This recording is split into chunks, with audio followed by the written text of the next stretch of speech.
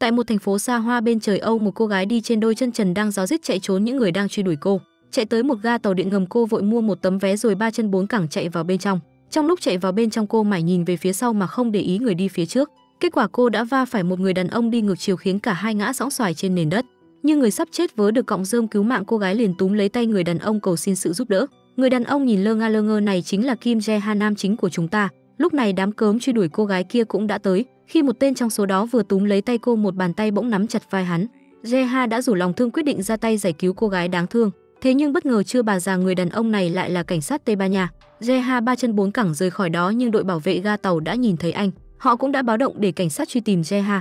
Khi hai người còn đang kéo qua kéo lại hai anh cảnh sát cầm súng trên tay đi nhanh về phía họ. Vì không muốn bị cảnh sát bắt Jeha lại phải ra tay hành động thêm một lần nữa. Sau khi giải quyết rắc rối Jeha ba chân bốn cẳng chạy lên mặt đất, nhìn thấy Jeha cô gái liên tục đập tay vào cửa kính xe kêu cứu. Jeha vừa mới quay đầu nhìn một người đàn ông đã rút thẻ cảnh sát ra rồi đuổi anh đi chỗ khác. Cũng không muốn gây thêm phiền phức Jeha liền lên một chiếc taxi rồi chạy thẳng ra sân bay. Sau tháng sau tại Seoul, Hàn Quốc sau khi nhận được điện thoại của giám đốc xưởng quảng cáo, anh thanh niên vội vã lái xe tới cố định lại một tấm băng rôn bị lỏng do gió thổi. Tại một diễn biến khác, hai chiếc xe chở theo những người bịt mặt cũng tiến vào tầng hầm của tòa nhà. Bọn họ ngồi trên xe liên tục nhìn giờ như thể đang chờ đợi một người nào đó. Bên trên tòa nhà cao ốc Jeha vẫn đang miệt mài với công việc của mình. Hai người vừa ôm ấp tình cảm vừa xem TV.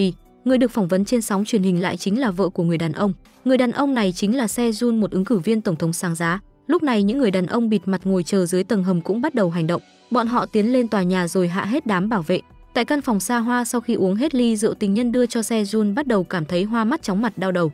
Jeha cũng chuẩn bị hoàn thành công việc của mình. Trong phòng em gái nương tựa của xe Jun đã nằm nghiêng ráo nước chỉ chờ tên bịt mặt mang máy ảnh tới chụp cảnh nóng của hai người. Đúng lúc này chuông báo động bỗng kêu lên inh ỏi, toàn bộ cửa ra vào tự động khóa lại. Cảnh sát cũng sẽ nhanh chóng đuổi tới nơi này. Nhìn cảnh bà lao công bị đánh Jeha dùng hết sức bình sinh để phá kính.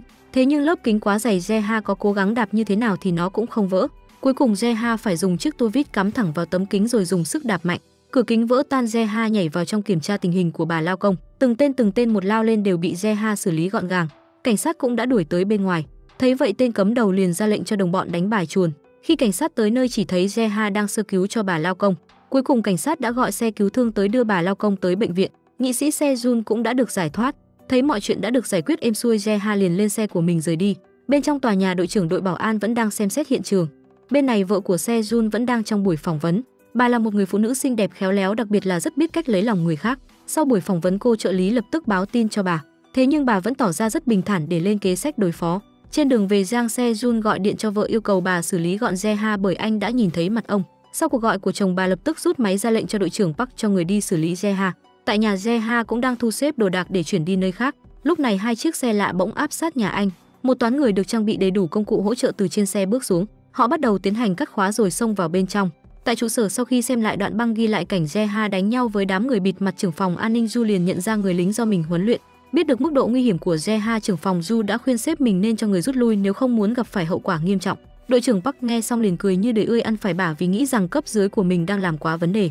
Đội trưởng Park đã cử đội quân tinh nhuệ nhất của mình chỉ để bắt một người thợ làm biển quảng cáo thì đối phương chỉ có chạy đằng trời.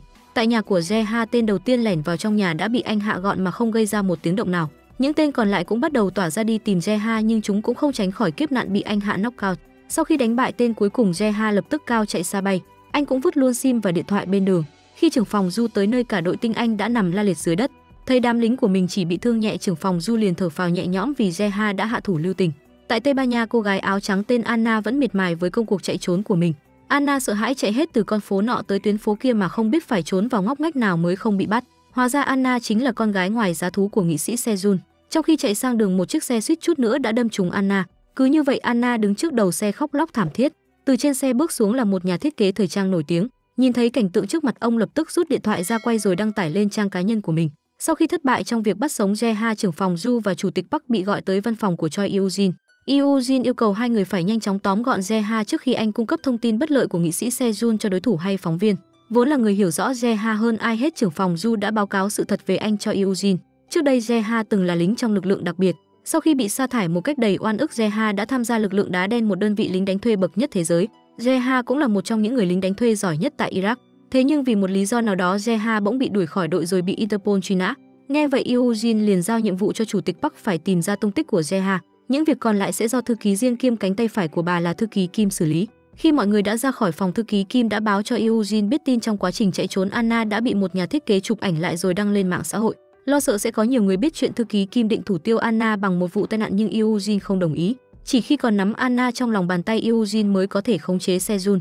Vì không muốn gây thêm rắc rối Eugene đã ra lệnh đưa Anna về Hàn Quốc giám sát.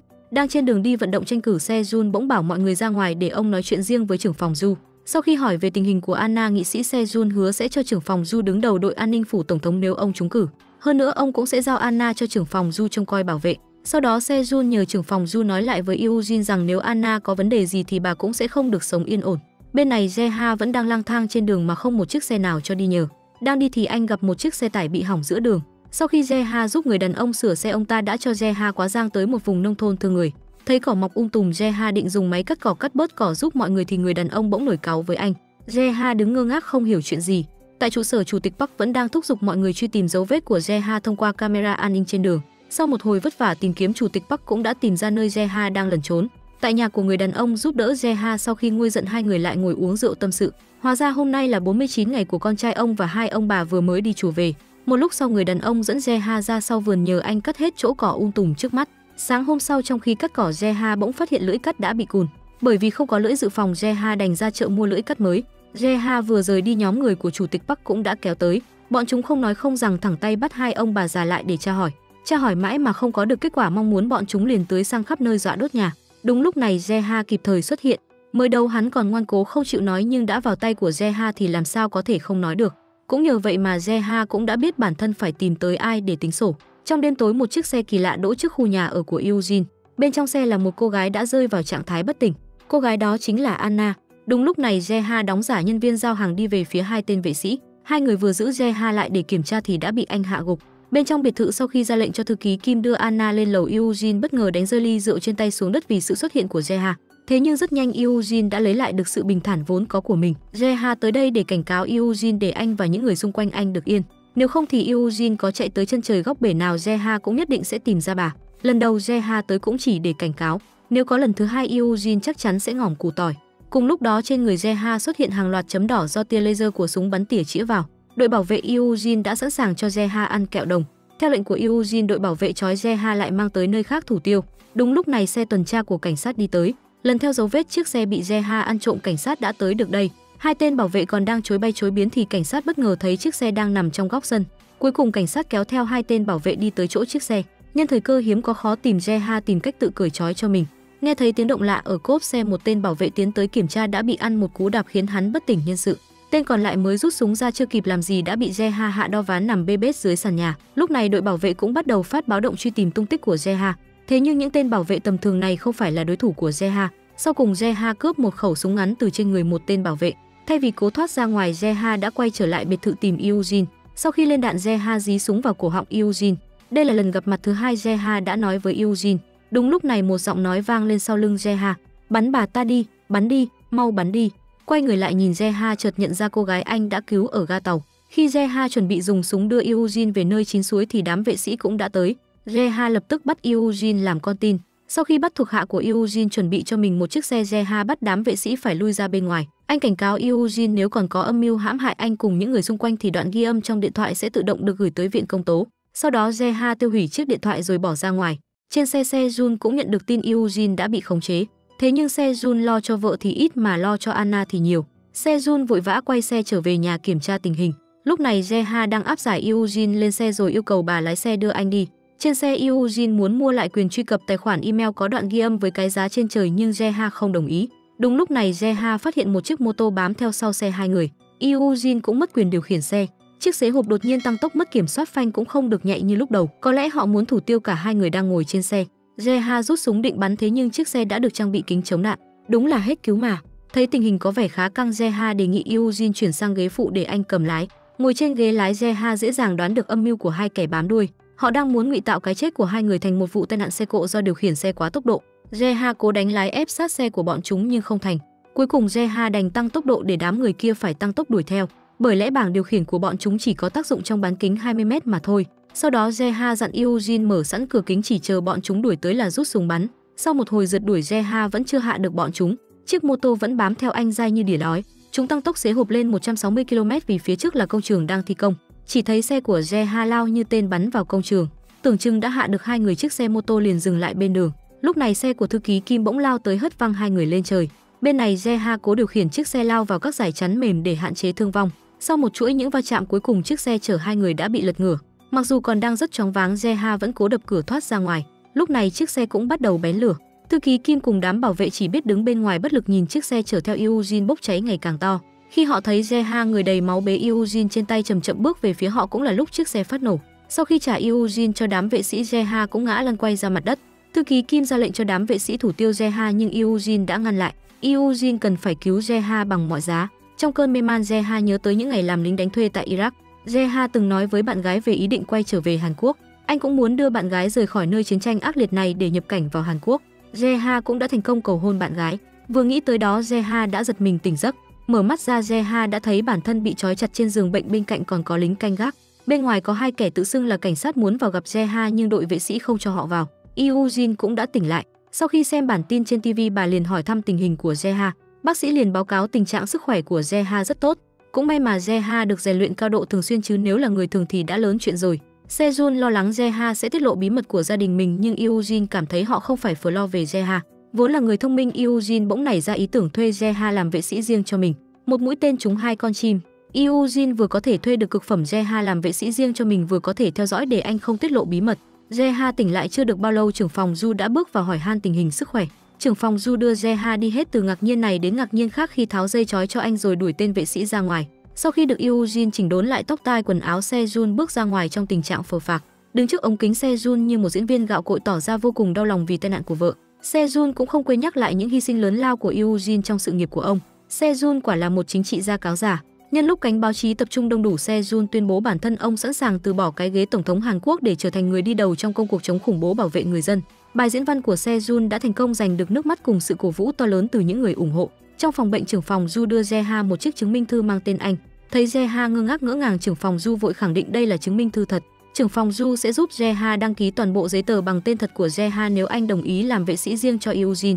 Cuối cùng, trưởng phòng Du đã không thành công bởi Jeha không muốn dính dáng tới Eugene thêm một giây một phút nào nữa. Khi Jeha bước vào thang máy, anh lại chạm trán Park Wan-su một trong những ứng cử viên tranh cử chức tổng thống và là một trong những kẻ thù không đội quần chung của Sejun. Nghị sĩ Park tới thăm Eugene với mục đích lăng xê bản thân trước truyền thông. Nhìn thấy Park Wan-su trong đầu, Jeha lập tức lóe lên suy nghĩ hạ đám vệ sĩ rồi tiễn ông ta về nơi chín suối ngay trong thang máy. Hành động quái lạ của Jeha đã đánh động Park Wan-su cùng đồng bọn. Quay trở lại phòng bệnh Jeha bỗng nhớ lại những ngày tháng anh còn sinh sống và làm việc tại Iraq. Khi Jeha đi tuần tra quay về anh đã nhìn thấy Park Wan-su đứng nói chuyện cùng bạn gái anh. Park Wan-su vừa lên xe đám lính bên cạnh đã chùm túi bóng đen lên đầu bạn gái Jeha. Jeha chạy ra giải cứu nhưng đã quá muộn bạn gái anh đã bị sát hại. Mỗi lần nhớ tới cảnh tượng đó, ngọn lửa hận thù Park Wan-su bên trong Jeha lại rực cháy.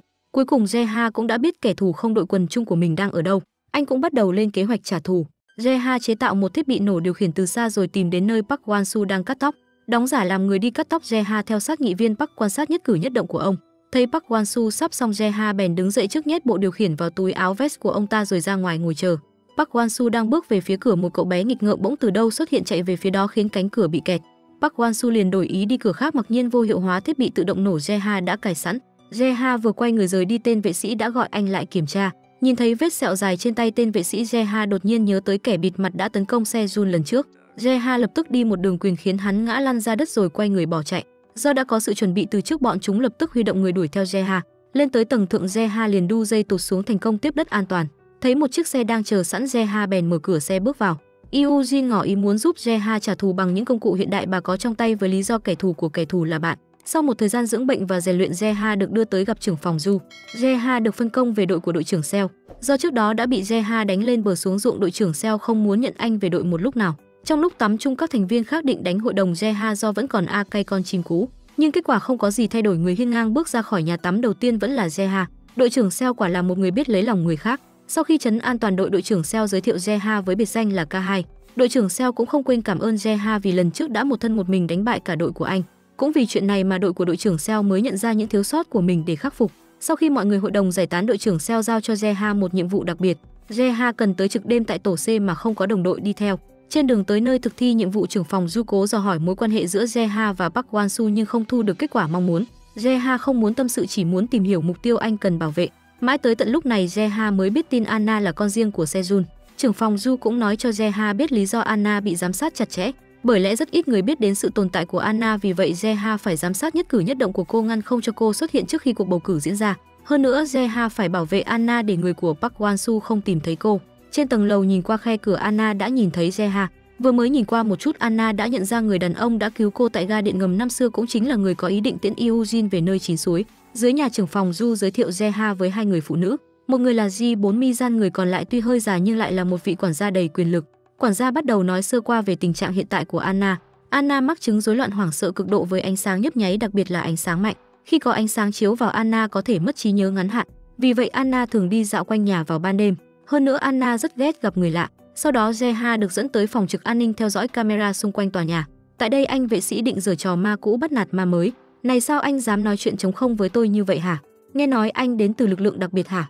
Đúng rồi tôi đến từ đội 040, một năm một có vấn đề gì sao? Nghe đến đây mặt anh vệ sĩ lập tức thay đổi thái độ đi nhẹ nói sẽ cười duyên với Jeha. Tại một buổi tiệc sang trọng nơi có cả Giang Se Jun và Park Wan Su tới dự, trong lúc Se Jun còn đang mải mê bên các cô gái trẻ Park Wan Su đã tới chỗ Eugene ngầm đe dọa chuyện Eugene bị ám sát hụt. Eugene cũng không phải đậu vừa giang dạng vừa đâu, bà cũng đem chuyện Park Wan Su suýt bị ám sát trong một lần đi cắt tóc để mỉa mai ông. Sau đó Eugene giả vờ vô tình lấy ra một chiếc túi nhỏ nói rằng đó là chứng cứ bà đã thu được từ chiếc xe gặp nạn. Có lẽ đã quá hiểu nhau Park Wan Su liền ngỏ ý muốn chung sống hòa bình với Eugene. Bên này Jeha vẫn đang trong ca trực của mình. Quan sát camera giám sát Jeha bỗng thấy Anna xuống bếp lục tìm mì gói. Cầm gói mì trên tay Anna vui sướng nhảy múa như một đứa trẻ. Sau đó Anna mới tìm xong nấu mì. Jeha ngỡ ngàng khi thấy Anna lấy một cái xong to vật vã để nấu một gói mì bé tí. Đã vậy Anna còn không biết mở khóa van bếp ga. Jeha không tin trên đời còn tồn tại một cô gái không biết cách nấu mì. Ngồi trong phòng giám sát Jeha phân vân không biết có nên nấu hộ Anna một gói mì không. Cuối cùng ca trực của Jeha cũng sắp hết, anh ra ngoài hành lang rít một điếu thuốc cho sảng khoái. Đúng lúc này, Jeha phát hiện vật thể lạ trên mái nhà. Jeha lập tức rút máy gọi Mizan, nhưng lúc này Mizan còn bận ngủ vắt lưỡi không biết trời trong mây đất gì. Jeha lập tức trèo lên mái nhà kiểm tra tình hình. Tới nơi, Jeha liền thở phào nhẹ nhõm khi thấy Anna đang ngồi chơi với một chú mèo nhỏ trên mái nhà. Anna cứ ngồi đó khóc lóc thảm thiết như có tâm sự trong lòng. Phòng ngủ của Anna thông với một cái tháp từ đó có thể leo lên mái nhà. Khi Anna quay về phòng ngủ, Jeha cũng đi theo cô. Bên trong tháp toàn là đồ cũ đã phủ kín bụi. Trên bàn còn có bức ảnh Anna chụp chung với bố mẹ từ khi còn bé. Bên này Eugene đang chuẩn bị trang phục tới dự tang lễ của một bà cô. Nghĩ tới bà cô của mình, Eugene có chút chạnh lòng bởi bà và Eugene đều là những người phụ nữ cô đơn trong chính mối quan hệ của mình. Bà cô của Eugene có rất nhiều tiền tài của cải nhưng cuối cùng vẫn chết trong sự cô đơn. Mặc dù khi sống, bà cô luôn có Eugene ở bên chăm sóc nhưng đó cũng chỉ là một vở diễn của Eugene để lấy được cổ phần của tập đoàn JB mà thôi. Nghĩ tới đó, Eugene bỗng thấy chạnh lòng. Ít ra lúc cuối đời bà cô còn có Eugene chăm sóc còn Eugene sau này sẽ chẳng có ai. Eugene thậm chí còn không có nổi một đứa cháu bên mình. Khi Eugene cùng xe Jun tới ngôi chùa nơi Eugene tổ chức tang lễ cho cô mình, trưởng phòng Du thông báo sư thầy không cho đội vệ sĩ và người ngoài vào trong. Chỉ có một lái xe cùng một trợ lý được đi theo Eugene. Jeha không chắc bản thân có thể bảo vệ cả Eugene và xe Jun. Thế nhưng Eugene vẫn kiên quyết để Jeha đi cùng. Cuối cùng Jeha đành phải lái xe đưa hai vợ chồng vào trong chùa. Sau khi làm lễ hai vợ chồng Eugene định tới phòng đựng cho cốt. Jeha đi về phía Eugene thông báo Eugene có một cuộc gọi. Thế nhưng đó cũng chỉ là một cái cớ để Jeha có thể nói chuyện riêng với Eugene. Sau khi nhét chiếc bút vào túi của Eugene, Jeha dặn bà bấm vào đầu bút nếu cảm thấy nguy hiểm cận kề. Toàn bộ người nhà của người đã mất đã tề tựu đông đủ tại một căn phòng. Sau khi mọi người ổn định chỗ ngồi cánh cửa cũng được khóa lại, luật sư bắt đầu mở vali để công bố di chúc của người quá cố. Thế nhưng luật sư lại không có chìa khóa mở vali. Ông chỉ biết người quá cố đã giao lại chìa khóa cho một trong số những đứa cháu của mình. Quả nhiên chiếc chìa khóa đó đã được giao cho Eugene cất giữ. Sau khi mở được chiếc vali, luật sư đọc to rõ ràng danh mạch người được hưởng toàn bộ tài sản. Không có gì bất ngờ khi toàn bộ tài sản của bà được chuyển cho quỹ học bổng Pyongyang, một trong những quỹ học bổng do Eugene đứng đầu. Nghe xong chủ tịch liền đuổi luật sư ra ngoài để gia đình nói chuyện riêng. Cảm thấy có gì đó sai sai Eugene liền nhấn đầu bút. Bộ đàm bên ngoài lập tức bắt được tín hiệu phát ra toàn bộ cuộc trò chuyện trong phòng kín. Tại đây một cuộc thỏa thuận giữa nội bộ gia đình bắt đầu. Chủ tịch muốn dùng số tiền lớn gấp 3 lần giá trị thực của số cổ phiếu để mua lại số cổ phiếu Eugene vừa được sang nhượng. Với số tiền đó, Eugene thừa sức chi trả cho chiến dịch tranh cử tổng thống của Sejun. Thấy Eugene không muốn bán chủ tịch đe dọa sẽ họp cổ đông quỹ học bổng để bầu lại giám đốc điều hành. Nghe vậy Eugene giật mình lỡ đẩy cái bút sang phía đối diện. Một bàn tay đưa ra đón lấy chiếc bút rồi nhấn vào đầu bút thêm một lần nữa. Jeha ở bên ngoài ngay lập tức bị mất tín hiệu. Cảm thấy có gì đó sai sai Jeha liền tiến vào bên trong. Đám vệ sĩ dùng hết sức bình sinh để ngăn Jeha lại nhưng không thể. Chỉ sau vài phút cả đám đã nằm la liệt trên mặt đất như rơm như dạ. Thế nhưng Jeha vẫn không thể mở cửa. Thấy vậy Jeha liền đốt một đống giấy khiến chuông báo cháy reo vang. Trong tình thế ngàn cân treo, sợi lông chân mọi người bắt buộc phải mở cửa để chạy. Nhìn gương mặt thẫn thờ của Eugene Jeha liền lấy ô che rồi an ủi động viên bà. Vừa đi Eugene vừa suy nghĩ về hành động của Jeha khi nãy. Rõ ràng Eugene chưa kịp nhấn nút thêm một lần nào nữa thế nhưng Jeha vẫn kịp thời xuất hiện cứu bà một màn thua trông thấy. Điều này cũng chứng tỏ Jeha là một người vô cùng nguy hiểm không dễ dàng chế ngự. Trên đường về Eugene lặng lẽ không nói gì, có lẽ trong lòng bà đang có một kế hoạch mới. Tới ca gác Zeha lại bắt đầu theo dõi nhất cử nhất động của Anna. Zeha vô cùng mãn nguyện khi thấy Anna có thể tự bật bếp ga để nấu một gói mì. Nhìn dáng vẻ vui vẻ của Anna, Zeha cũng thấy vui lây. Thế nhưng Anna lại mới làm cái gì kia? Sao cô lại che cam đi chứ? Sợ sẽ có chuyện chẳng lành xảy ra Zeha vội tìm cách truy cập các camera khác. Cuối cùng anh cũng đã tìm thấy bóng hình của cô. Tại nhà An tưởng rằng đã che hết camera Anna bắt đầu nhảy múa. Nhìn Anna lúc này khác hẳn những lúc ủ rũ hàng ngày. Zeha nhìn mà cũng muốn nhảy theo điệu nhạc của cô. Tranh thủ lúc Anna ngủ Jeha ra ngoài hút một điếu thuốc cho nở phổi. Mizan có vẻ rất thích Jeha, chỉ cần nhìn thấy anh là cô liền rủ anh ra ghế ngồi tán phét. Trong lúc vui mùng Mizan lỡ kể về khoảng thời gian cô sống cùng Anna tại Tây Ban Nha. Qua đó Jeha cũng biết được Anna là một cô gái đáng thương. Hai người đang ngồi nói chuyện thì có người tới đón Jeha về nhà riêng của Eugene. Tại đây Jeha được đưa lên tầng 9 nơi mọi người vẫn thường gọi là 9 tầng mây. Thế nhưng thang máy thay vì đi lên trên nó lại đi xuống dưới. Ra khỏi thang máy Jeha bước tới một căn phòng kính. Bên trong cái nơi được gọi là 9 tầng mây Eugene cùng đồng bọn đang lên kế hoạch tiêu diệt những người cản đường Eugene. Sau khi giao việc cho từng người Eugene cho gọi Zeha vào bên trong, bước vào bên trong Zeha lập tức nhận ra sự hoàn hảo của căn phòng. Căn phòng này được cách âm tối đa vì vậy không ai có thể nghe lén. Zeha không hiểu vì sao Eugene lại gọi anh tới tận đây để nói chuyện. Đương nhiên Eugene muốn biết tất cả mọi chuyện có liên quan tới Zeha. Tại sao Zeha lại dũng cảm một thân một mình lao vào hang cọp để cứu Eugene? Chuyện gì đã xảy ra với anh tại Iraq? Sợ Zeha hiểu nhầm mục đích của mình, Eugene liền nói thêm hai người đều có chung kẻ thù là Park Wansu. Sau đó Eugene dẫn Zeha tới một gian phòng chứa đầy những thiết bị thông minh. Căn phòng này là trụ sở của GSS cũng là nơi lưu trữ và thu thập thông tin trên toàn thế giới. Thấy Eugene cũng khá đáng tin Zeha bắt đầu kể lại những ngày tháng lưu bạt tại Iraq của mình. Tại đó Zeha đã gặp một cô gái tên Rania. Zeha rất muốn đưa Rania rời khỏi đất nước toàn là chiến tranh nhưng không thể. Rania đã làm phiên dịch viên trong một cuộc gặp mặt giữa Park Wansu và một viên chỉ huy người Iraq. Hai người bàn về một vấn đề vô cùng quan trọng nên không muốn tin tức bị lọt ra bên ngoài. Sau khi dặn dò viên chỉ huy người Iraq Park Wan-su liền đánh mắt về phía Rania. Cuối cùng Rania bị sát hại ngay trước mặt Jeha. Jeha vừa bước tới nơi một cú đánh đã khiến anh ngất lịm. Khi tỉnh lại, Jeha đã bị bắt vì trong tay anh là khẩu súng đã cướp mạng của Rania. Một tuần sau, Jeha đã trốn thoát Park Wan-su cũng đã rời khỏi Iraq. Để thoát khỏi sự truy lùng của đội đá đen, Jeha đã lẩn trốn vào đám người tị nạn di cư tới Thổ Nhĩ Kỳ, sau đó trốn tới châu Âu. Đó cũng chính là lý do Jeha muốn tiễn Park Wan-su đi chầu Diêm Vương. Nhân lúc Mizan không có trong phòng, Anna tranh thủ bơm một liều thuốc mê vào cốc nước của Mizan. Tại căn phòng mang tên 9 tầng mây Jeha đang dùng thiết bị tối cao của Eugene để tìm lại dữ liệu về Park Wan-su trong cái ngày định mệnh kia. Cuối cùng Jeha cùng biết lý do Park Wan-su ra lệnh cho thuộc hạ sát hại Rania. Không những vậy, Jeha còn biết thêm thông tin về sự gian gian díu díu mập mờ giữa Park Wan-su và thủ lĩnh người Iraq tên Oman. Sau khi tống cho Mizan một liều thuốc mê, Anna đã đóng giả làm Mizan lẻn ra ngoài rồi bắt một chiếc taxi cao chạy xa bay. Ngồi trên xe, Anna mở cửa kính ngắm nhìn bầu trời đêm một cách thư thái. Tới nơi Anna bước vào một hiệu ảnh. Jeha vừa đánh xe tới cổng thì vệ sĩ đã thông báo cho anh biết chuyện Mizan ra ngoài mua đồ từ nửa đêm mãi chưa thấy về. Jeha vào phòng thì thấy Mizan đang ngủ vắt lưỡi. Jeha vội vàng chạy lên phòng của Anna nhưng cô đã biến mất. Bên này Anna đang được ông chủ hiệu ảnh cho xem lại ảnh của mẹ cô khi còn trẻ. Mẹ Anna vốn là một ngôi sao điện ảnh vô cùng xinh đẹp. Một ngày nọ mẹ Anna tới nhờ ông chụp ảnh hộ chiếu cho con gái. Sau đó bà còn cùng Anna và một người phụ nữ khác chụp chung một tấm hình. Lần theo địa chỉ Anna tới một viện dưỡng lão. Tại đây cô đã gặp được người phụ nữ trong bức hình. Thế nhưng lúc này người phụ nữ đã không còn minh mẫn, nhìn thấy Anna bà còn nhầm tưởng là mẹ cô. Trong vô thức người phụ nữ hốt hoảng kêu mẹ Anna phải trốn thật nhanh vì Eugene đã biết mọi chuyện. Nhờ việc Anna sử dụng thẻ tín dụng của Mizan mà trưởng phòng Du cùng Jeha nhanh chóng phát hiện địa chỉ của cô. Nhờ có tai nghe kết nối với bộ đàm Anna cũng biết tin người của Eugene đã đuổi tới. Anna đóng giả làm sơ nhẹ nhàng trốn ra ngoài bằng cửa chính. Sau đó cô đi theo dòng người vào nhà thờ hát thánh ca. Không ngờ cả hai ứng cử viên tổng thống đều có mặt tại đây.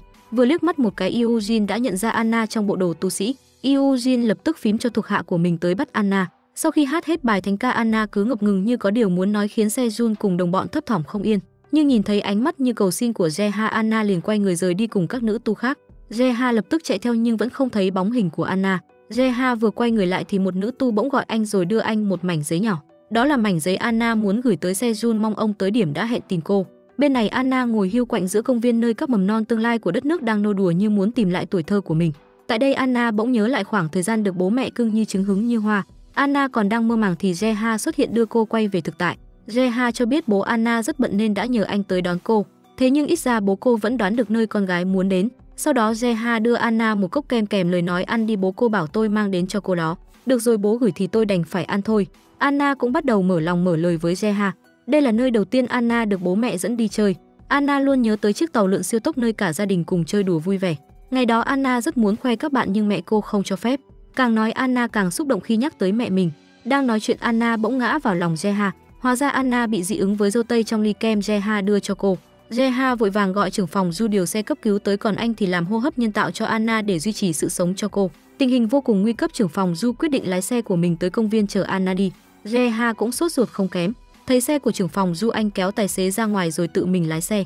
Jeha lái xe như bay khắp các con phố cuối cùng cũng đến được trụ sở của GSS. Anna lập tức được đưa vào phòng cấp cứu Jeha cũng đi theo sau cô chờ đợi. Một lát sau, Anna cũng đã tỉnh lại. Anna vừa mới tỉnh lại, bác sĩ đã thông báo chính Jeha là người đã cứu cô một mạng. Tuy Anna đã qua cơn nguy kịch nhưng cô vẫn cần có bác sĩ tâm lý kề bên. Nhìn thấy Anna bình an vô sự Jeha cũng yên tâm hơn phần nào. Jeha tới phòng trưởng phòng Du hỏi lý do đội của ông cho xe cấp cứu quay về. Không ngờ đám người xấu xa kia thà nhìn Anna ngỏm củ tỏi còn hơn để cô lộ thân phận.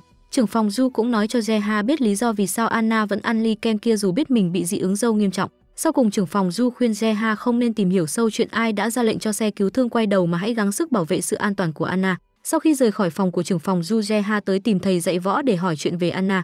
Tại đây anh được biết mẹ Anna từng kết hôn với một đạo diễn người Mỹ nhưng khi đó bà đã mang thai Anna. Cuối cùng bà đã tự tìm đường đi chầu Diêm Vương còn Anna bị đưa sang nước ngoài. Bên này sau khi thành công hợp tác với đối thủ tâm trạng Eugene vui phơi phới, bà còn đích thân tới phòng y tế hỏi thăm tình hình sức khỏe của Anna. Eugene cũng không quên yêu cầu đội vệ sĩ giám sát Anna chặt chẽ để không xảy ra những sự việc ngoài ý muốn như vậy nữa. Sau khi Eugene bước vào phòng Anna, bà đã yêu cầu tất cả mọi người ra ngoài để hai người nói chuyện riêng. Khi chỉ còn lại hai người Eugene bắt đầu lải nhải về bố Anna tức là Sejun. Eugene cho rằng trong mắt Sejun mẹ con Anna chẳng là cái thá gì. Vì vậy khi mẹ Anna qua đời hay khi Anna lưu lạc tại Tây Ban Nha Sejun mới ngó lơ không thèm quan tâm. Đối với Sejun Anna chỉ là một chấm nhỏ một món nợ trong quá khứ của ông mà thôi. Đáng ngạc nhiên là Eugene còn biết chuyện Anna đã tới thăm người phụ nữ tại viện dưỡng lão. Eugene còn cho Anna biết chuyện mẹ cô đã từng dùng cô để níu kéo Sejun nhưng không có tác dụng.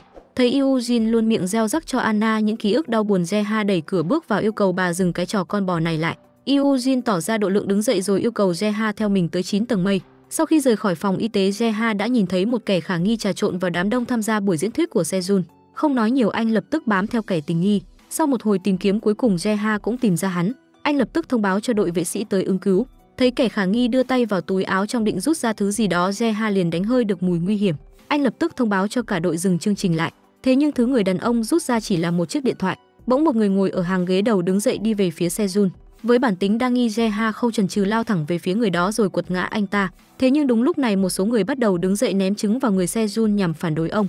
Sejun tỏ ra bình thản như không có chuyện gì xảy ra tiếp tục bài diễn thuyết của mình. Không những vậy ông còn tỏ ra cao thượng khi kêu vệ sĩ thả hết những người phản đối ra. Nhờ hành động cao thượng này mà Sejun đã nhận được sự tán thưởng tuyệt đối từ phía người ủng hộ. Nhưng đằng sau tấm màn nhung mới là tình cách con người thật của người diễn viên. Phía sau cánh gà Sejun bộc lộ rõ bản chất cáo giả của mình. Không ngờ những người ném trứng đều là diễn viên quần chúng do Sejun thuê để làm đẹp bài diễn thuyết của mình. Bên trong phòng tắm rửa một cô nhân tình của Sejun đã chờ sẵn, cứ tưởng như mọi lần trong lúc Sejun đi tắm đám vệ sĩ sẽ rủ nhau đi uống cà phê. Tên vệ sĩ duy nhất ở lại bỗng rút ra từ trong người một vật thể lạ rồi hé cửa phòng lén đưa cho cô nhân tình của Sejun. Thế nhưng dăm ba cái trò con bò này làm sao có thể qua mắt Jeha. Sejun còn chưa tắm xong Jeha đã mở cửa bước vào nói mặc đồ vào chúng ta cần đi khỏi đây. Dưới chân Jeha là cô nhân tình của Sejun trên tay cô ta vẫn cầm một chiếc kim tiêm bí ẩn. Sau khi nhờ trưởng phòng Du cản đường những người muốn ám sát Sejun, Jeha nhanh chóng đưa ông rời khỏi cái nơi đầy rẫy nguy hiểm này. Cuối cùng Sejun đã thoát khỏi cái bẫy đã bày sẵn chỉ chờ ông nhảy vào một cách ngoạn mục. Trên xe Sejun vừa cười khoái chí vừa hỏi Jeha muốn đưa ông đi đâu. Jeha không do dự đáp muốn đưa Sejun tới nơi ở của Anna. Mặc cho Sejun ra lệnh cho mình dừng xe, Jeha vẫn nhất quyết chở ông tới đó. Cuối cùng Sejun nói nếu Jeha làm điều này vì Anna thì hãy hứa với ông rằng anh sẽ bảo vệ cô tới cùng. Chỉ cần Jeha hứa thì Sejun sẽ tới gặp Anna. Sejun làm như vậy vì Anna chính là con tin.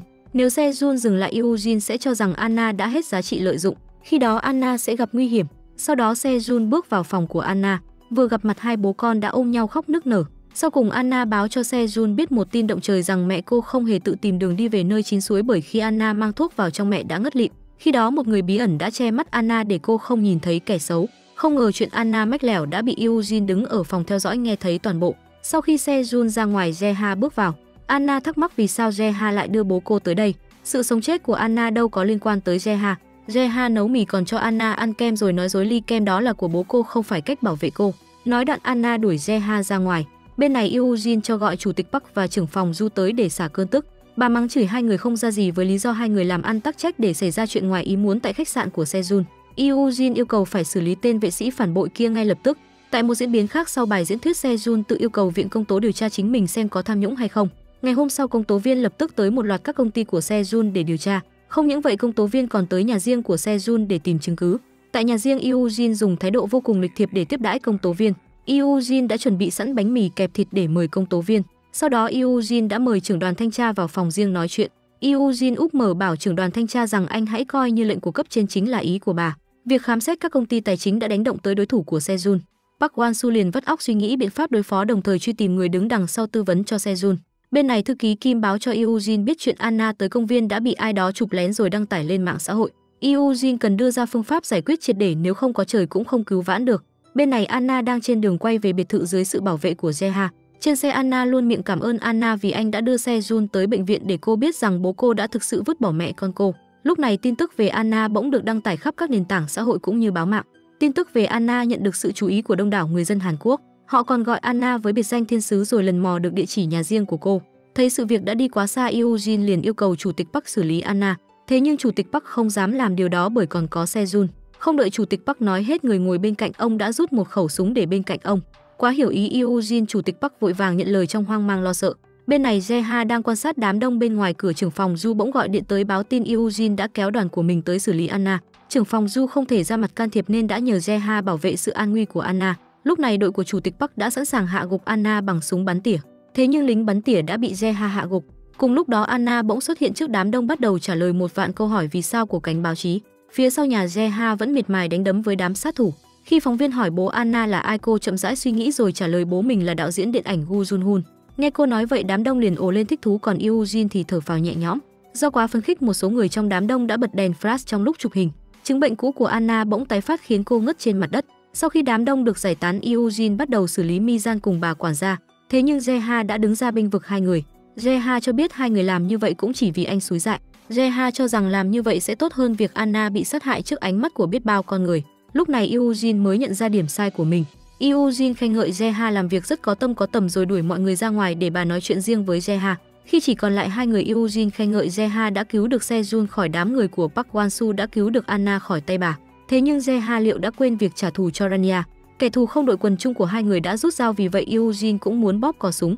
Tới ca gác của mình Zeha lại tiếp tục theo dõi Anna. Anh vừa ngồi vừa nhớ lại chuyện cũ. Thấy Anna ngồi trên mái nhà Zeha chỉ dám đứng từ xa canh chừng cô. Khi Anna đứng lên, cô vô tình trượt chân suýt ngã. Thấy vậy Zeha liền chạy tới đỡ cô, nhưng ai mà có rẻ anh cũng bị trượt chân. Khi Zeha chuẩn bị rời đi, Anna đã gọi anh quay lại ngồi cạnh cô một lúc. Anna không quên cảm ơn Zeha vì tất cả mọi chuyện anh đã làm cho cô. Từ chuyện ở Tây Ban Nha cho tới chuyện nấu mì gói, chuyện ly kem và cả chuyện anh định đỡ cô khi cô chuẩn bị ngã. Jeha cũng nói cho Anna biết tình hình hiện tại của cô. Hiện tại Anna chính là điểm yếu lớn nhất của Eugene, vì vậy bà vẫn còn đối xử tử tế với cô. Nhưng khi mọi người hết hứng thú với vai trò thiên sứ của Anna thì mọi chuyện sẽ khác. Eugene nhất định sẽ trở mặt đối xử thậm tệ với Anna. Thế nhưng nếu Anna thú nhận cô chính là con gái ngoài giá thú của Sejun thì cô lại phá hủy tiền đồ của bố mình. Nghe Jeha nói vậy, Anna lập tức hiểu ra nguyên nhân cái chết của mẹ mình. Eugene sợ mẹ Anna sẽ làm bại hoại danh phong của Sejun một chính trị gia nổi tiếng nên đã ngăn không cho ông tới gặp mẹ Anna. Nghĩ tới đó Anna liền bật khóc nức nở. Jeha ngồi bên ôm cô vào lòng an ủi. Sáng hôm sau sở trưởng sở cảnh sát gửi một tập hồ sơ có liên quan tới Jeha tới nhà riêng của Park Wan-su. Nhờ đó mà Park Wan-su đã phát hiện sự có mặt của Jeha. Một trận chiến cũng sắp nổ ra. Trong lúc Anna đang học võ, ông em trai cùng cha khác mẹ của Eugene bỗng chạy tới ôm chầm lấy Anna vào lòng rồi gọi cô hai tiếng cháu gái. Anna sợ hãi đẩy gã đàn ông ra xa. Ông ta muốn kết thân với Anna chắc hẳn đang có mục đích đen tối nào đó. Khi Eugene cùng thư ký Kim và Jeha ra ngoài vô tình bắt gặp cậu em trai báo Sung Won của mình đang đi cùng Anna. Eugene liền chất vấn Sung Won làm như vậy là có ý đồ gì. Thế nhưng Sung Won chỉ đơn giản là muốn mời Anna đi ăn một bữa cơm mà thôi. Bởi vì Sung Won biết thân phận thật sự của Anna nên Eugene cũng không dám manh động. Bà bất lực nhìn Sung Won đưa Anna rời đi. Để đảm bảo an toàn cho Anna, bà đã cho Jeha đi theo sau hai người. Thế nhưng vừa lên xe Sung Won lại nói sức khỏe tinh thần của Anna không được tốt trước khi đi ăn cần tới bệnh viện để khám bệnh. Tại bệnh viện, Sung Won gọi Jeha tới văn phòng riêng nói chuyện với hy vọng Jeha phản bội Eugene đầu quân cho mình. Nếu Jeha đồng ý, Sung Won sẽ đưa cả Anna đi theo. Chỉ có như vậy Jeha mới có thể bảo toàn tính mạng của Anna. Sung Won còn tự tin cho rằng Anna chắc chắn sẽ theo phe ông. Nghe đến đây Jeha lập tức chạy ra ngoài lục tung cả bệnh viện lên để tìm kiếm Anna. Không thấy Anna đâu Jeha cảm thấy vô cùng hoang mang. Sau khi nghe tin mặt Eugene bỗng hừng hực sát khi ra lệnh cho cấp dưới lục tung nhà Sung Won tìm kiếm Anna. Cùng lúc đó thuộc hạ của Sung Won cũng tới trụ sở của GSS đưa ra thông báo muốn hủy hợp đồng với GSS. Eugene nghe được tin này liền tức ói máu. Chiến tranh sắp bắt đầu, Eugene đã chuẩn bị sẵn tinh thần khai chiến. Không nghĩ nhiều, Eugene ra lệnh cho thuộc hạ tiêu diệt toàn bộ đối thủ. Đúng lúc này, phòng quan sát camera an ninh đã tìm được chiếc xe chở Anna đi. Bọn họ lập tức thông báo cho Jeha biết vị trí của chiếc xe. Tới nơi Jeha mở cửa lôi gã tài xế ra ngoài tra khảo tung tích của Anna. Sung Won bỗng gọi điện tới báo cho Jeha biết địa chỉ của Anna. Thế nhưng Jeha chỉ được đi một mình nếu không đừng hỏi vì sao nước biển mặn. Cúp máy Jeha phóng như tên bắn tới điểm đã hẹn. Sung Won cũng đã đứng ở đó chờ Jeha từ lâu. Khi bước vào bên trong Jeha không dám tin vào mắt mình. Anna vẫn bình an vô sự còn Sung Won thật sự chỉ muốn mời mọi người ăn một bữa tối. Thấy đây chỉ là một cú lừa của Sung Won Jeha liền thở phào nhẹ nhõm. Trên bãi biển Jeha và Anna dính nhau như sam, cả hai nô đùa vui vẻ hạnh phúc như hai đứa trẻ. Tối đó nhóm vệ sĩ của Anna cùng Sung Won đã có một bữa tối vui vẻ, nhìn họ giống như một gia đình thực thụ vậy. Sau khi ăn uống no say Sung Won cùng Jeha lại lên mái nhà nói chuyện riêng. Sung Won muốn tách Anna ra khỏi sự kiểm soát của Eugene cũng chỉ vì muốn cô được an toàn. Sung Won muốn Anna được sống khỏe mạnh vì cô chính là thiên thần hộ mệnh của anh. Cuối cùng Sung Won muốn biết Jeha sẽ đứng về phe ai. Thế nhưng sau khi xong việc Jeha sẽ rời đi bởi anh không muốn dây dưa tới cuộc chiến này. Sáng hôm sau Mizan giúp Anna trang điểm lộng lẫy. Mizan không ngừng kể cho Anna nghe về nụ hôn đầu rồi tuyên bố sẽ nhường Jeha cho Anna. Nghe vậy Anna liền vui vẻ gửi ảnh mới trang điểm cho Jeha hỏi anh xem cô có xinh không. Sau khi nhận được câu trả lời rất xinh của Jeha, Anna liền nói rằng từ giờ anh đã thuộc về cô. Jeha chẳng hiểu gì nhưng cũng kệ mặc cho Anna muốn làm gì thì làm. Sau đó Jeha đã tới gặp Eugene. Eugene cũng hỏi han tình hình của Anna nhưng Jeha không nói nhiều chỉ nói cô vẫn ổn. Bên này Anna cũng được cho xem hồ sơ về cái chết của mẹ mình. Buổi ghi hình mới bắt đầu được một lúc Anna đã được đưa tới trường quay khiến Eugene ngơ ngác ngỡ ngàng bật ngửa. Jeha cũng bất lực không nói lên lời mặc cho Anna lên sân khấu. Họ cũng cho công chiếu đoạn video ghi lại thời khắc ông La nói rằng nàng thơ của ông chính là mẹ Anna. Không những vậy, ông La luôn chào đón Anna biến cô trở thành một ngôi sao sáng. Thấy chính những lời nói của mình lại trở thành vũ khí chống lại mình, Eugene bỗng toát hết cả mồ hôi mẹ mồ hôi con. Hiện Anna vẫn chưa có ý định đầu quân cho La vì cô muốn làm sáng tỏ cái chết của mẹ mình. Lời nói này khiến khán giả ngồi bên dưới sốc đến tận óc. Mọi nghi vấn bỗng chuyển sang phía Eugene bởi bà từng nói bà rất thân với mẹ Anna. Kết thúc buổi phỏng vấn Jeha thắc mắc vì sao Anna lại có hành động máu liều nhiều hơn máu não như vậy. Thế nhưng Anna đã quyết thì có liều thế liều nữa cô cũng dám làm. Anna làm như vậy vì hồ sơ vụ án cho biết mẹ cô không hề ra đi thanh thản mà bị người ta hành hạ cho đến chết đi sống lại. Sau vụ này Eugene cũng đã ấp ủ một kế hoạch mới, nhưng lần này Eugene không nhắm đến Jeha vì muốn giữ anh lại giúp đỡ mình. Anna cũng đã thay đổi cô không còn là cô gái trong mộng của Jeha nữa. Trong buổi chụp hình đạo diễn cảm thấy có gì đó sai sai, Thấy vậy Sung Won đã xin đạo diễn một tiếng để Anna chỉnh đốn tinh thần. Sung Won đưa cho Anna một lọ thuốc nói lọ thuốc này sẽ giúp cô quên đi nỗi sợ ánh đèn flash. Jeha cảm thấy nghi ngờ nhưng Anna lại có niềm tin mãnh liệt vào chú mình. Khi cả đoàn đi ăn một người giao hoa bất ngờ tấn công bảo vệ sau đó ra hiệu cho đội của mình bắt tay vào làm việc. Nhìn thấy đám người kỳ lạ này Jeha bỗng cảm thấy chuyện chẳng lành. Anh vội chạy ra xem xét tình hình thì phát hiện chúng đang đầu độc mọi người. Jeha lập tức chạy tới phòng Anna kêu cô chạy ngay đi trước khi quá muộn còn anh sẽ tìm cách thoát ra bên ngoài sau. Lúc này khí ga đã lan ra toàn bộ khu nhà may mà vẫn còn đường ống thông gió giúp Anna tẩu thoát một cách an toàn. Khi Jeha gọi cho Eugene, anh mới nhận ra chính thư ký Kim đã cử người làm chuyện này. Thư ký Kim không hề quan tâm tới sự sống còn của Anna. Đối với thư ký Kim Jeha chính là ngọn nguồn của tội lỗi. Nguồn điện đã bị ngắt nhưng đó không phải là vấn đề đối với Jeha. Anh tả sung hữu đột hạ gục từng tên một rồi cướp lấy một cái mặt nạ tiếp tục công việc của mình. Tuy nhiên khi đi tới chỗ nhóm ba người Jeha đã bị lột mặt nạ. Rất nhanh Jeha đã rơi vào thế yếu do ảnh hưởng của chất độc. Thấy một tên theo sát mình Anna liền co giò bỏ chạy, nhưng bất ngờ chưa bà già Jeha bỗng xuất hiện dùng hết sức bình sinh hạ gục đối thủ. Những người khác đã quay trở lại tình hình cũng đã được giải quyết. Bên này Sejun cũng bị chơi một vố đau khi công tố đã tìm được chứng cứ chứng minh tội tham nhũng của ông. Tin tức Sejun không được thả ra ngay lập tức khiến đối thủ vô cùng phấn khích. Anna nhìn thì có vẻ rất ổn nhưng tinh thần cô không ổn một chút nào. Chính vì vậy Jeha yêu cầu tất cả mọi người quay về căn nhà bí mật nơi an toàn nhất hiện tại. Chuyện xe Jun bị tạm giam khiến Eugene tức giận lập tức tổ chức một cuộc họp khẩn cấp. Eugene cho rằng người của bên mình đang bị Park Wan-su đe dọa. Đúng như những gì Eugene nghĩ, Park Wan-su đã sử dụng sức mạnh của mình để uy hiếp trưởng phòng văn phòng tổng thống. Nghị sĩ từ các đảng khác cũng hiểu ra vấn đề lập tức đứng về phía Park Wan-su. Người của Eugene đề xuất phải diệt trừ Park Wan-su khẩn cấp nếu không muốn thua toàn tập. Hơn nữa, trong đội của Eugene cũng có một vệ sĩ đặc biệt có thể hoàn thành nhiệm vụ ám sát này mà không để lại dấu vết nào. Anna cũng đã được đưa đến một khu nhà mới. Nhìn thấy dáng vẻ sợ hãi của cô, Jeha đã trùng khăn kín đầu cả hai để trấn an Anna. Cả hai từ từ bước vào căn nhà mới. Ánh mắt kiên định của Jeha khiến Anna bớt căng thẳng hơn phần nào. Sau đó Anna đã thưởng cho Jeha một nụ hôn nồng cháy. Những người khác nhìn thấy cảnh này cũng chỉ biết lặng lẽ đứng nhìn trong vui sướng. Tại phòng họp trưởng phòng Du cho rằng phía Park Wan-su cũng đã có sự chuẩn bị từ trước nên khả năng Jeha một đi không trở lại là rất cao. Tuy nhiên Eugene đã quyết thì có trời cũng không thể đổi. Ngay sau đó, Jeha nhận được một cuộc điện thoại. Zeha chấp nhận thực hiện nhiệm vụ nguy hiểm này với điều kiện Anna phải được bảo vệ tuyệt đối. Biết lần này Zeha đi vì muốn bảo vệ mình Anna đã cản anh lại nhưng không thể. Mặc dù biết tỷ lệ quay trở về của chuyến đi lần này là rất thấp nhưng Zeha vẫn đồng ý. Đổi lại Eugene phải đáp ứng hai điều kiện của Zeha. Điều kiện thứ nhất chính là mạng của thư ký Kim người chủ mưu sát hại anh, một mạng đổi lấy một mạng. Ai ngờ thư ký Kim cũng chơi tới bến luôn. Nếu Zeha có thể đoạt mạng của Park Wan-su thì sự sống còn của thư ký Kim cũng nằm trong tay anh. Điều kiện thứ hai là Eugene phải để yên cho Anna. Eugene nghe xong cũng vui vẻ đồng ý. Khi tất cả đã đi, Eugene dặn dò Jeha nếu thấy nguy hiểm quá thì hãy quay đầu là bờ. Sau đó toàn đội bắt đầu lên đường. Thế nhưng một anh cảnh vệ đã nhận được nhiệm vụ bổ sung từ thư ký Kim.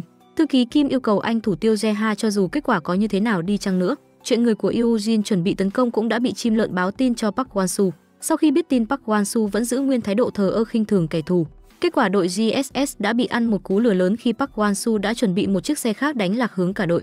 Tôi xem mà còn tưởng Park Wan-su đang đóng phim hình sự nữa cơ đấy. Thế nhưng đội GSS cũng không phải là tay mơ khi họ đã cử một nhóm khác tới phục kích tại nơi ẩn náu của Park Wan-su. Cuộc chơi bắt đầu tay bắn tỉa đưa một vài người về nơi chín suối khiến đối phương sợ hãi. Hai anh lính giỏi nhất lập tức lao lên đấu súng tay đôi. Thế nhưng đối phương quá đôi vì vậy một người đã ăn kẹo đồng. Jeha cố gắng cầm cự bảo vệ đồng đội thế nhưng anh ta lại thúc giục anh nhanh chóng hoàn thành nhiệm vụ. Mang theo sự quyết tâm cuối cùng, Jeha cũng hoàn thành nhiệm vụ khi tóm được Park Wan-su. Nhìn Park Wan-su sợ hãi cầu xin Jeha không đủ dũng khí để ra tay. Thấy Jeha khá là nhút nhát, Park Wan-su liền muốn thương lượng với anh. Hai bên đều đã biết rất rõ đối phương. Cho dù Jeha có thể tiễn Park Wan-su đi chầu Diêm Vương thì anh cũng không thể rời khỏi đây. Lúc này Jeha cũng đã nảy ra một ý tưởng khác. Anh lập tức gọi điện cho Eugene hỏi về cái giá phải trả. Eugene như hiểu ra điều gì đó liền đòi nói chuyện với Park Wan-su. Cuối cùng Park Wan-su cũng chịu đầu hàng đồng thời hứa sẽ thả xe Jun ngay lập tức. Hai bên vui vẻ giao kèo với nhau. Thế nhưng tới khi Eugene yêu cầu Park Wan-su rút khỏi cuộc tranh cử thì lão xin được chết. Eugene cũng giao cho Jeha nhiệm vụ sống sót quay trở về. Ngay sau đó, toàn đội GSS rút lui. Sejun cũng được thả ra ngoài trước ánh mắt ngỡ ngàng của bao người. Lúc này, thư ký Kim sợ hãi gọi cho thuộc hạ nhưng không có ai nghe máy. Tại căn cứ của Park Wan-su Jeha cũng đã nhận được số tiền khổng lồ như đã thỏa thuận. Thật lòng mà nói, Park Wan-su đã muốn gặp Jeha từ lâu nên khi nghe tin Jeha có mặt tại đây, ông đã rất vui. Hai bên cũng thỏa thuận cùng nhau hợp tác vui vẻ trong thời gian tới. Cuối cùng Jeha thản nhiên bước ra bên ngoài mà không gặp chút khó khăn nào khiến đám cảnh vệ cũng phải há hốc mồm. Bên này Eugene cảnh cáo thư ký Kim không được động tới một sợi lông của Jeha nếu không muốn chính tay bà kết thúc cuộc đời của cô. Dù cái đầu của thư ký Kim vẫn được giữ nguyên nhưng lòng cô đau như cắt. Jeha hạnh phúc quay trở về bên vòng tay Anna. Eugene khi không lại bị ăn ngay một cú tát như trời giáng của chồng. Eugene đe dọa sẽ bắt tay với Park Wan-su để giành lại hợp đồng, bởi vì trong mắt bà cả Park Wan-su và Sejun đều hèn hạ như nhau. Nghe Eugene nói như vậy Sejun cũng chỉ biết cầm nín, không dừng lại ở đó, Eugene còn mắng Sejun là đồ ghê tởm khi lợi dụng người phụ nữ mình yêu đến chết. Hiện tại Eugene sẽ để Anna sống yên ổn, nhưng sau khi hoàn thành nhiệm vụ thì không chắc. Sau vụ này, Eugene cũng thấy được sự thân thiết giữa Jeha và đội đột kích. Jeha sẽ được nghỉ ngơi một ngày trước khi được đưa tới 9 tầng mây nhận nhiệm vụ mới. Tối đến, Anna cũng tranh thủ hâm nóng tình cảm của cô và Jeha. Cả hai hứa với nhau sau này sẽ chuyển tới Tây Ban Nha sinh sống. Sáng hôm sau mới tới chỗ làm, Jeha đã nhận được vô vàn lời chúc từ đồng nghiệp. Thư ký Kim cũng chủ động xin lỗi Jeha. Tại trụ sở Eugene hỏi Jeha về giao kèo giữa anh và Park Wan-su. Không bao lâu nữa, Park Wan-su cũng sẽ trả một khoản tiền khổng lồ để Jeha đoạt mạng Eugene. Điều này cũng nằm trong kế hoạch của Eugene. Bà lập tức yêu cầu Jeha làm thân với Park Wan-su để tiếp cận kẻ thù. Park Wan-su cũng đã lên dây cót sẵn sàng cho một cuộc chơi mới với kẻ thù không đội quần chung. Cả hai đều tìm cách sát hại đối phương cho tới khi một trong hai đi chầu Diêm Vương. Sung Won cũng đã đưa Anna tới thăm mộ mẹ. Tại đây, Sung Won cũng nhận được một tin khá thú vị. Đây quả là một tin tức có lợi cho kế hoạch mới của Sung Won. Sau đó hai chú cháu nhà Anna lại di chuyển tới nhà Lao để gặp người biết rõ về cái chết của mẹ cô. Tên tội phạm trước mắt cũng chính là người chiếu đèn vào mắt Anna khiến cô mắc chứng sợ hãi ánh đèn flash như hiện tại. Năm đó hắn đã đột nhập vào nhà của Anna để ăn cắp. Tại đây hắn đã gặp một đồng nghiệp cũng đang hành nghề, chỉ khác ở chỗ người kia muốn lấy mạng mẹ Anna thay vì lấy đi tiền bạc trang sức. Sung Won phải nhờ luật sư của mình chạy án giúp tên tội phạm này một vài năm để hắn chịu nói ra khuôn mặt của người đã ám sát mẹ Anna. Người đó chính là người đã lên sóng truyền hình cùng Anna vài ngày trước cho Eugene. Thế nhưng hiện tại Anna vẫn chưa thể tống Eugene vào tù vì bố cô vẫn chưa đắc cử tổng thống. Anna vẫn chưa được tự do hoàn toàn. Sung Won sẽ thay cô thu xếp ổn thỏa mọi chuyện nhưng Anna nhất định phải giữ bí mật với Jeha. Tối đó Anna lại có một buổi trình diễn. Do tâm lý không được ổn định, Anna xin Sung Won thêm một chút thuốc chống sợ hãi cho tự tin. Jeha không muốn Anna uống thêm thuốc vì uống nhiều thuốc rất có hại cho sức khỏe. Thế nhưng hôm nay là một ngày đặc biệt Anna phải cố gắng nhiều hơn mọi ngày. Tuy nhiên số thuốc kia vẫn chưa đủ để Anna hết sợ. Trong buổi diễn suýt chút nữa thì Anna đã ngã sấp mặt cũng may mà Jeha đã kịp thời chạy tới đỡ lấy cô. Sáng hôm sau, Sung Won đã thuê người đăng tin nói về cái chết của mẹ Anna rồi đổ lỗi cho chị gái mình. Yoo Jin đọc được thì cũng phải bật cười như đời ươi ăn phải bả vì trong câu chuyện của Sung Won bà chính là mẹ ruột của Anna. Chính Anna cũng phải thắc mắc về bài viết lố bịch này. Thế nhưng Sung Won cho rằng chỉ có làm như vậy thì cảnh sát mới có cớ để điều tra Yoo Jin. Tới khi thời cơ chín mùi họ sẽ tung ra con át chủ bài hạ gục Yoo Jin. Ngay trong ngày hôm đó, hai chú cháu nhà Anna đã lên đầu tới sở cảnh sát nộp đơn truy tố kẻ đã viết bài nhằm tạo nhiên cho tin đồn của mình. Mục đích chính của việc này là để cảnh sát mở một cuộc điều tra đặc biệt về cái chết của mẹ Anna. Sở trưởng lập tức báo cho Park Wan-su biết tin Sung Won đang nhắm vào chị gái mình. Park Wan-su khá hào hứng với vụ này, yêu cầu phía cảnh sát phải điều tra ngay lập tức. Không bao lâu sau, trên mạng xuất hiện một loạt nghi vấn. Yoo Jin đang đi làm từ thiện cũng bị cánh phóng viên kéo tới hỏi về vụ việc. Nghe tới đây thôi, Yoo Jin đã nhức nhức cái đầu mà lăn ra bất tỉnh. Võ sư xong cũng tức tốc tới bệnh viện thăm Yoo Jin. Thế nhưng khi tất cả đã ra ngoài, hai người lại gọi nhau là chú cháu. Võ sư xong khuyên Eugene nên tha mạng cho Anna vì cướp mạng mẹ rồi thì phải tha mạng cho con. Lương tâm ông không cho phép mình để cháu gái ra tay tàn nhẫn như vậy. Nếu Eugene còn đi xa hơn, ông buộc phải cho mọi người biết sự thật. Bên này Jeha nói với Anna rằng Eugene không phải người để cho nhân chứng nắm trong tay bằng chứng chống lại mình sống sót dễ dàng. Thế nhưng Anna không nghĩ như vậy. Thậm chí cô còn cho rằng Jeha đang đứng về phía Eugene. Sau đó Jeha đã tới tìm Eugene yêu cầu bà nói ra sự thật. Eugene vẫn nói chắc như đinh đóng cột rằng bà không phải người hãm hại mẹ Anna và bà cũng không ra lệnh cho ai làm chuyện đó. Điều duy nhất Eugene có thể làm là khiến Sejun tin bà có khả năng hãm hại Anna báu vật của ông. Eugene làm vậy vì không muốn Sejun rời xa mình, nhưng điều đó cũng khiến mọi người tin bà là kẻ giết người. Đương nhiên Eugene biết hung thủ thật sự là ai, nhưng hiện tại bà không thể tiết lộ. Đúng lúc này thằng em mất dạy lại tới thăm chị gái. Thấy bầu không khí gượng gạo trước mắt, Sung Won cảm thấy khá nực cười. Hai chị em cũng có một màn cọ sát khá căng thẳng để ôn lại chuyện xưa. Sung Won đắc ý chấp nhận nhượng cho chị gái vài công ty con của tập đoàn. Một lúc sau Je Ha tới tìm gương thần hỏi chuyện. Je Ha hoàn toàn không bị giới hạn câu hỏi giống hệt với Eugene. Thậm chí Je Ha còn có quyền đặt câu hỏi về Eugene. Sáng hôm sau Eugene quyết định tới đồn cảnh sát lấy lời khai đồng thời xin lỗi khán giả cả nước vì bấy lâu nay bà đã che giấu sự thật. Sự thật là Anna chính là con gái ruột của Sejun. Điều này khiến Giang Cư Mận chuyển hướng chú ý sang Sejun giúp Eugene giảm bớt căng thẳng. Những người trong cuộc nghe tin đều sốc đến tận óc. Họ không ngờ có ngày Eugene sẽ bỏ cuộc để xe Jun tự mình gánh chịu. Hành động của bà cũng đồng nghĩa với việc cuộc chiến chính trị đã đi đến hồi kết. Sau khi gặp anh rể Sung Won mới biết mình đã rơi vào bẫy của Eugene. Hóa ra tên tội phạm kia đã được cài vào để nói dối Eugene chính là kẻ giết người. Sau đó Se Jun đã kể lại cuộc đời mình một cách chân chu nhất có thể để xoa dịu dư luận. Tuy nhiên hành động của Se Jun đã làm tổn thương Anna. Chuyện Se Jun không thừa nhận mẹ Anna rồi biến bà thành người có tội trong cuộc tình của hai người khiến Anna càng a cay con chim cú. Anna vẫn tin vào tên tội phạm kia mà không hề hay biết rằng lúc này hắn đang phủ nhận chuyện tận mắt nhìn thấy người sát hại mẹ cô. Cảnh sát cũng sốc đến tận óc phi phát hiện bản thân bị dắt mũi. Cảnh sát lập tức bắt tên tội phạm về đồn chứ để lâu thêm một chút không biết Eugene sẽ làm nên chuyện khủng khiếp gì. Nhờ vào bộ não đầy sạn của mình cuối cùng Eugene cũng có một cú lội ngược dòng hoàn hảo. Lúc này Sung Won cũng gọi điện báo cho Anna biết tin cả hai đã mắc sai lầm nghiêm trọng. Bên này Jeha thắc mắc vì sao họ lại lôi người đã khuất vào vụ này. Thế nhưng thư ký Kim cho rằng việc này là rất cần thiết bởi Anna là mối đe dọa lớn nhất của Eugene. Sau khi giải quyết êm xuôi mọi chuyện, Eugene nhờ sở trưởng nhắn nhủ với Park Wan-su rằng bà không dễ nhằn đến vậy đâu. Sở trưởng cũng đành phải nói dối cánh nhà báo rằng ông chỉ mời Eugene tới ăn bánh uống trà thôi chứ thật ra bà chính là người bị hại. Sau chuyện này, người dân lại càng tin tưởng Eugene hơn bao giờ hết. Sung Won cũng phải chạy tới bệnh viện ca ngợi tài năng diễn xuất của Eugene. Anh cũng mong chị gái dơ cao đánh khẽ nương tay với mình. Không ngờ cuộc trò chuyện của hai chị em đã bị Jeha nghe lén. Nhờ vậy mà Jeha mới biết những người xung quanh Anna đều sắp bị xử lý còn cô sắp bị đưa sang nước ngoài. Tối đó Anna cũng xin lỗi Jeha vì đã giấu không cho anh biết chuyện chú cháu cô đang làm. Jeha cũng không trách Anna bởi đối thủ của cô quá mạnh. Sau đó hai bố con nhà Anna lại ngồi lại nói chuyện với nhau. Lúc này Sejun cũng chỉ biết nói lời xin lỗi. Dẫu biết mọi thứ Sejun nói ra đều là dối trá nhưng ông không còn cách nào khác. Trong khi nói chuyện Sejun cố tình nói ra những lời nói khiến Anna tổn thương bởi ông biết người của Eugene đang theo dõi mình. Sejun làm tất cả những việc này chỉ vì ông quá hèn nhát và hơn hết là ông sợ đánh mất con gái.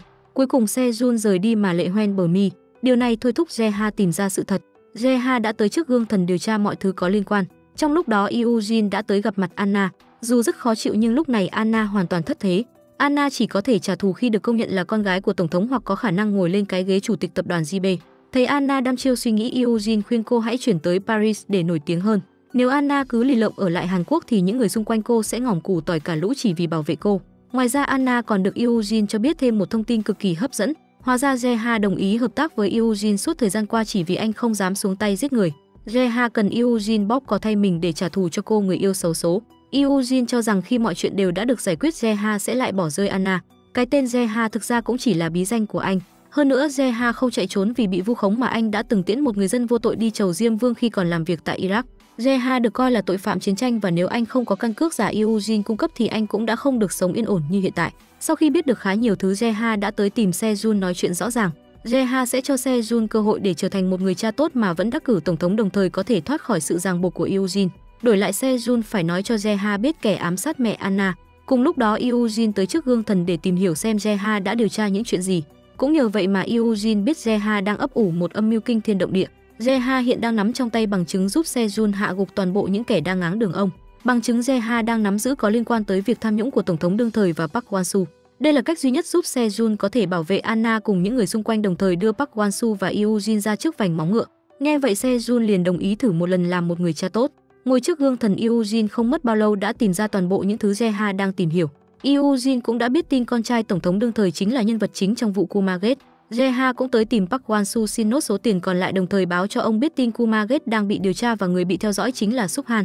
Nghe được tin này, Park Wan-su cũng ngơ ngác ngỡ ngàng bật ngửa. Ngày hôm sau, Park Wan-su đã tới tìm nhân vật chính trong vụ Kumagate kêu anh ta nhanh chóng tiêu hủy toàn bộ chứng cứ có liên quan. Tuy nhiên, Suk Han lại muốn giữ chứng cứ lại để bản thân được an toàn tuyệt đối. Jeha cũng có mặt tại đó và được các đồng nghiệp hỗ trợ nhiệt tình. Jeha muốn khiến Suk Han biết được rằng bản thân đang bị theo dõi.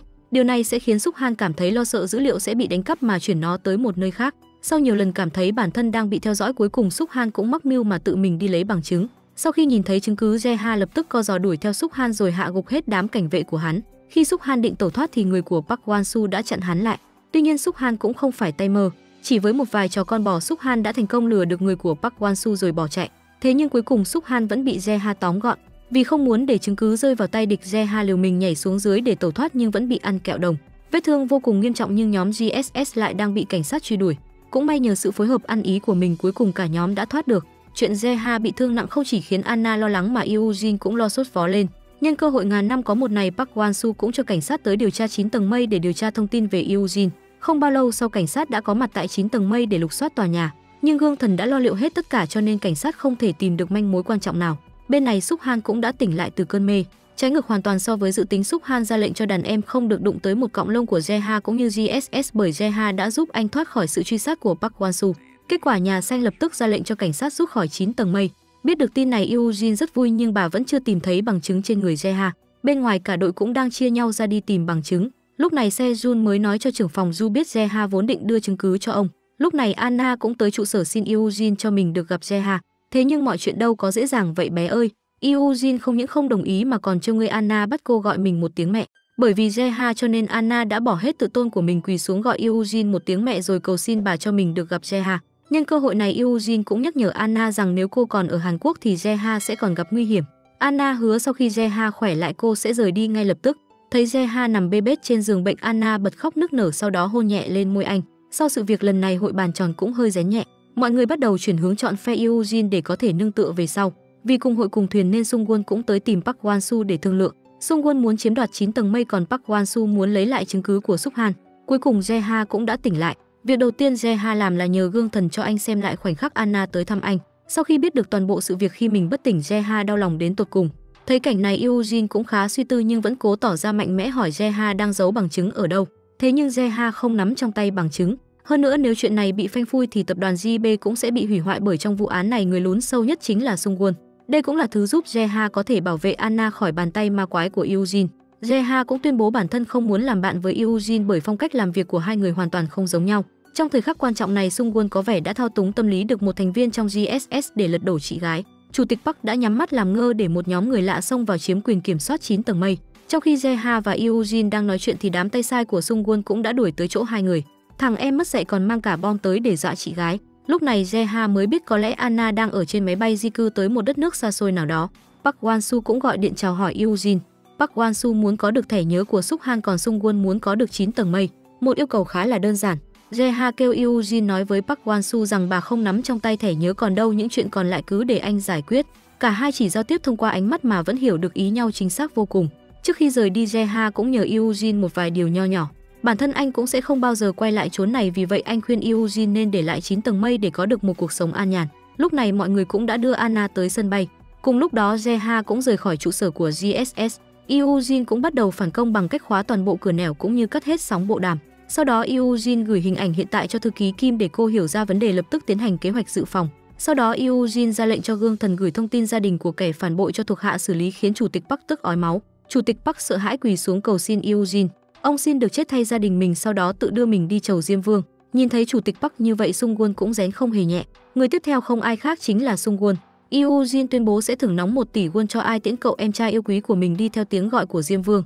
Cũng may mà Sung Won biết mật khẩu gỡ bom nên mới bảo toàn được tính mạng. Sau đó hai chị em lại ngồi tâm sự dày tâm sự mỏng với nhau. Eugene cho rằng cậu em trai báo của mình đã chọn sai người bởi dù sao đám người kia cũng sẽ phản bội anh. Bên này khi Jeha đi lấy thẻ nhớ đã bị đánh hạ. Cũng may mà trưởng phòng Du kịp thời xuất hiện cứu anh một bàn thua trông thấy. Jeha lập tức gọi điện đe dọa Park Wan Su khiến hắn lao đao. Bọn họ muốn họp bàn kế sách nhưng Jeha không muốn. Anh muốn công bố bằng chứng ngay lập tức mặc cho hai tập đoàn lớn cũng như chức vị tổng thống sẽ không còn. Sau khi nói hết nước hết cái, Jeha đưa bằng chứng cho Se Jun để ông tự quyết định nên làm một người cha tốt hay vẫn tiếp tục giấc mơ của mình. Còn Jeha sẽ quyên sinh để chấm dứt mọi chuyện. Sau đó Se Jun gọi điện hỏi thăm Eugene xem bom đã nổ chưa. Thực chất Se Jun gọi cho Eugene để xin ý kiến nên làm gì với món quà Jeha để lại. Eugene muốn dùng nó để đe dọa Park Wan-su. Chỉ cần Park Wan-su lệch sóng thì hai tập đoàn sẽ bốc hơi. Cuộc gọi ngay lập tức được chuyển qua Park Wan-su khiến hắn ta hú hồn chim én. Park Wan-su biết mình sắp đi đời nhà ma nên cũng nhờ sở trưởng chặn Anna lại để xử lý cả đám. Lúc này Jeha cũng đã tới nơi hạ gục đám cảnh vệ. Không những vậy Jeha còn đeo thêm một quả bom cho chắc ăn. Một tên cảnh vệ báo cho Jeha biết tin Anna đang gặp nguy hiểm khiến anh sôi máu não lập tức chuyển hướng đi cứu người yêu. Trên đường đi Jeha gọi cho đồng bọn để xin thông tin về chuyến bay của Anna. Lúc này Anna đã nằm gọn trong tay Park Won-su. Hắn muốn dùng bình rượu mơ của Sejun để đe dọa ông. Sau khi lần ra được vị trí của Anna, Jeha sẵn sàng lao đầu vào chỗ chết. Đám lâu nhau ở đây cũng cậy đông ăn hiếp người bị thương đánh cho Jeha ra bã. Khi Jeha tìm thấy Anna cũng là lúc cô được đưa về 9 tầng mây để chấm dứt mọi chuyện. Tuy nhiên võ sư song cùng những người khác đã trà trộn vào đám đông thành công giải cứu Anna. Lúc này Anna nhận ra võ sư song rất giống người đã bịt miệng mình. Sau khi bị đám lâu nhau dồn vào góc tường Jeha đã vùng lên xử gọn bọn chúng. Nhờ vậy mà anh cũng đã biết được toàn bộ kế hoạch. Trở lại cuộc trò chuyện của hai chị em nhà nọ, lúc này Sung Won cũng thừa nhận việc bản thân chính là người đứng sau vụ án kumaget. Cùng lúc đó thư ký Kim cũng hoàn thành xuất sắc nhiệm vụ ngăn chặn của mình. Thế nhưng họ không ngờ rằng Anna cũng đang ở đây. Biết Anna chính là chứng ngại vật lớn nhất vì vậy mọi người lập tức đi tìm cô. Jeha là người đầu tiên tìm thấy Anna. Đám thuộc hạ của Park Wan Su sợ bị phát hiện nên cũng không dám nổ súng. Những người ở trên cũng lần theo tiếng súng đi tìm hai người. Bên trên hai vợ chồng Eugene đã đoàn tụ. Eugene thuyết phục Sejun đưa cho mình chiếc thẻ nhớ để công sức bỏ ra bấy lâu nay của hai vợ chồng không trở thành công cốc. Nhưng ý Sejun đã quyết. Sejun cũng nói ra sự thật Eugene không giết mẹ Anna cũng không ra lệnh cho bất kỳ ai làm chuyện đó. Lý do Eugene giả vờ bản thân là người có tội là vì lo sợ Sejun sẽ bỏ mình mà đi hoặc sợ bản thân tự nhận ra mình đã chọn nhầm tấm chồng. Như vậy thì Eugene sẽ cảm thấy có lỗi với người cha quá cố, người luôn ngăn cấm cuộc hôn nhân này. Anna vừa mới được đưa lên mặt đất đã bị Sung Won bắt làm con tim. Sung Won cũng không ngần ngại ra tay với chị gái để Sejun phải giao lại thẻ nhớ. Đúng lúc này Jeha đã tỉnh lại. Anh lập tức báo cho mọi người biết tin quả bom kia không thể vô hiệu hóa, vì vậy tất cả đều sẽ ngỏm củ tỏi cho dù có đạt được mục đích hay không. Lúc này, Sung Won ngốc nghếch mới nhận ra điều đó. Anh lập tức nhờ Eugene kích hoạt thang máy để cả đám chạy thoát thân. Thế nhưng đâu có dễ dàng như đưa nàng đi ẻ vậy, bay ơi. Đám người bên ngoài đã cắt đứt toàn bộ liên lạc của trụ sở rồi còn đâu. Anna cũng bỏ qua tất cả hiềm khích trước đó tới cầm máu giúp Eugene. Lúc này Eugene cũng nói cho Anna biết toàn bộ sự thật. Trên thực tế, chính bố Eugene đã hạ lệnh cho võ sư Song đi sát hại mẹ Anna. Suy cho cùng Eugene cũng chỉ là người chứng kiến mà thôi. Cái sai duy nhất của Eugene là bà đã làm ngơ trước cái chết của mẹ Anna. Bên ngoài nhóm Jeha cũng đã tìm được lối thoát cho mọi người. Thế nhưng Sung Won đã dùng Anna để đe dọa Jeha. Sau khi lên đến mặt đất, Sung Won còn tặng cho Jeha một viên kẹo đồng. Jeha cũng dùng hết sức bình sinh để chạy tới chỗ Eugene định đưa bà lên mặt đất, nhưng bà đã chọn ở lại. Khi thang máy đi xuống một lần nữa Se Jun cũng chọn cách ở lại với vợ. Quả bom phát nổ đúng lúc thang máy rơi xuống dưới. Jeha cùng đồng bọn vẫn sống sót nhưng nỗi đau để lại quá lớn. Nhiều ngày sau Jeha đã bình phục. Anh đứng trước hội đồng tối cao để lấy lời khai cho vụ ám sát bạn gái cũ tại Iraq. Anna cũng trở thành người thừa kế duy nhất của Sejun và Eugene. Park Wan-su đang đắc ý vì không một ai có thể đánh bại hắn thì Jeha xuất hiện, bất ngờ chưa bà già. Sau khi tóm sống Park Wan-su Jeha cho ông một đặc ân cuối cùng là tự mình đi tìm Diêm Vương. Sung Won đang nhởn nhơ cũng được thư ký Kim tặng cho một viên kẹo đồng giữa ngực. Mọi chuyện cuối cùng cũng đã kết thúc. Cuối cùng Jeha cùng Anna cũng có thể có được một cuộc sống bình yên bên nhau. Được rồi, bộ phim đến đây là kết thúc. Các bạn bỏ ra 3 giây đăng ký kênh để ủng hộ chúng mình nha. Cảm ơn các bạn đã đón xem kênh của chúng mình. Hẹn gặp lại mọi người trong bộ phim tiếp theo.